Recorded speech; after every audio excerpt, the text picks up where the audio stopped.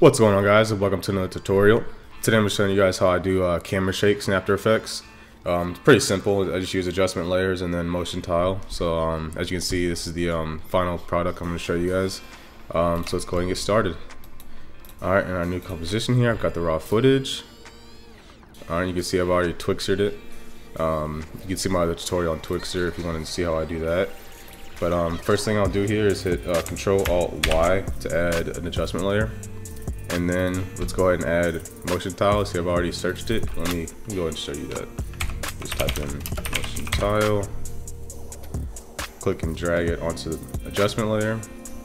And then I'll just change the settings to about the output, output width to about know, 170 and then height about the same thing. It doesn't really matter as long as it doesn't um, show on the sides where there's like black. And then click um, mirror edges so that it'll look smoother. So now we've got um, a motion tile on there. We can go and put the um, camera shakes, but the effect is called wiggle. There we go, and then uh, wiggle position is the one we're gonna use. And let's go ahead and see what we've got.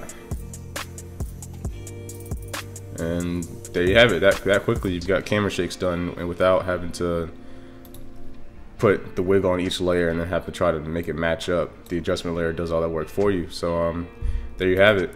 Um, go ahead and leave a like down below if you enjoyed, and I'll see you next week.